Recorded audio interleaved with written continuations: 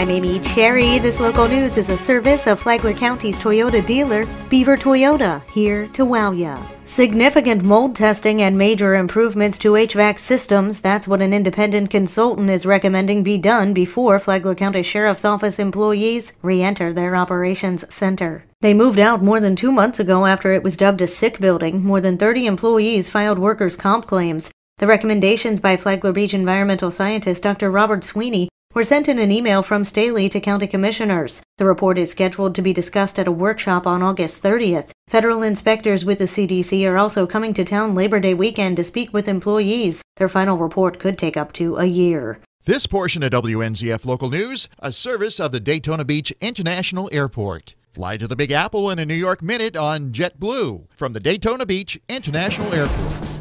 Brand new technology aims to help the Flagler County Sheriff's Office fight crime. Tony Magoo has more. An arrest was made the first day the Flagler County Sheriff's Office got their hands on Rapid ID technology. Rapid ID mobile devices scan a person's fingerprint and transmits it directly to the state automated fingerprint ID system, and then the results are returned immediately to the deputy in the field, including any criminal history the person may have. This Tuesday, an arrest was made with the help of this new technology when a private repo agent observed a white male and female flee the Home Depot with a drill set. He notified the sheriff's office what he saw, and then Flagler County Sheriff's deputies Rossi and Ocampo conducted a traffic stop on the suspect's car based on the information provided by the Good Samaritan. The driver, identified through Rapid ID as Amanda Butler, was arrested for grand theft, providing a false name while detained, and driving while license suspended and booked into the Green Roof Inn under $6,500 bond. John Butler, who was on probation and supposed to be on house arrest, was arrested for grand theft and felony violation of probation and booked into the jail with no bond. People give false names to our deputies often trying to avoid arrest for a crime or an active warrant, said Sheriff Staley.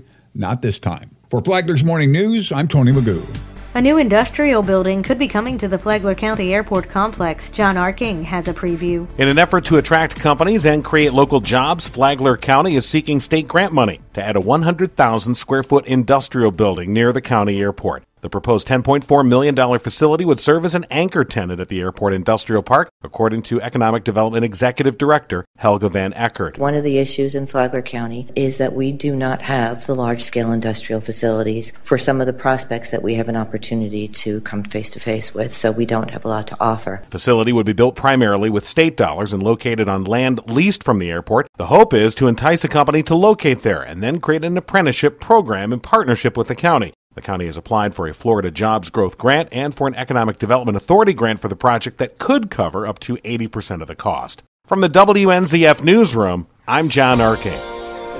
One of the oldest houses still standing in Bunnell could end up on the National Register of Historic Places. The Florida National Register Review Board has unanimously voted to accept the Holden House for consideration to be added to the register. Members of the board say they're impressed with the house's architectural significance and preservation.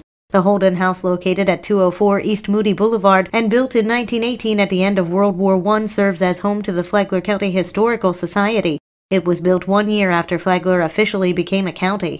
Next up, the Holden House nomination goes to the National Park Service for consideration. And now you're up to date on Flagler's Morning News. I'm Amy Cherry.